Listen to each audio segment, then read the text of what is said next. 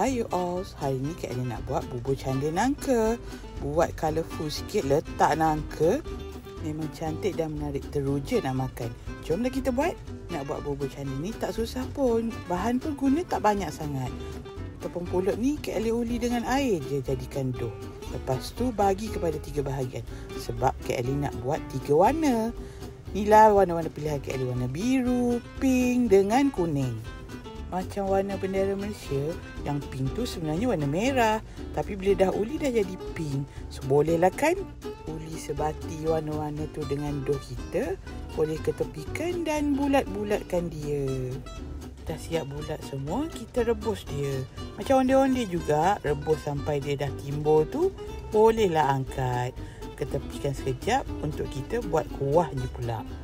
Dah angkat ni kalian rendam dalam air sejuk kalau ada ais pun boleh juga. Biar warna dia tetap nampak cantik. Marilah kita buat kuahnya pula. Kuah dia pun tak susah sangat. Ini je bahan-bahan dia. Yang ni kita ada letak gula melaka. Dengan hirisan nangka. Kan kita buat bubur candi nangka.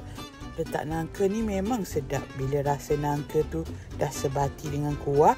Rasa manis-manis berlemak. Makan pula dengan candi yang warna-warni kenyal-kenyal tu. Memang sedap.